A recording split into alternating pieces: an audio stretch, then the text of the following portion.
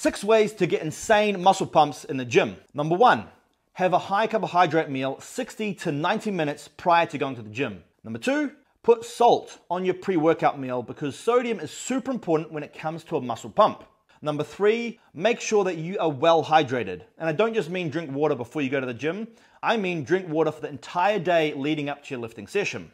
Number four is supplement with glycerol. Glycerol is a hyperhydration ingredient resulting in your body holding more water in the muscle. This will result in some crazy muscle pumps. Number five is supplement with citrulline malate because this is the most important ingredient when it comes to muscle pumps and vascularity. And number six, do drop sets, do supersets, do giant sets, and train with high volume. And if you do this, you'll be pumped.